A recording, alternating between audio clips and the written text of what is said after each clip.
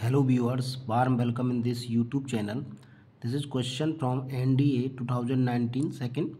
If cosec theta equal to 29 upon 21 where theta lie between 0 to 90 then what is the value of 4 sec theta plus 4 tan theta?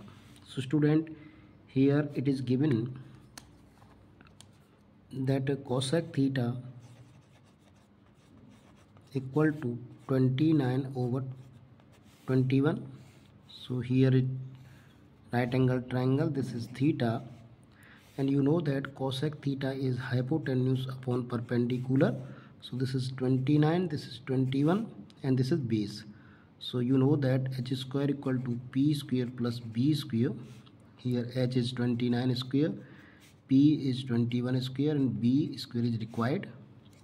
So 29 square minus 21 square equal to b square using a square minus b square a plus b 29 plus 21 and 29 minus 21 that is b square.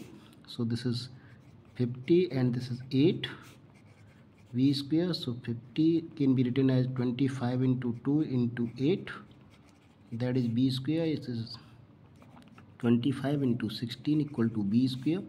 This is 5 square this is 4 square equal to b square therefore b equal to 5 into 4 or that is 20 so 20 is the base.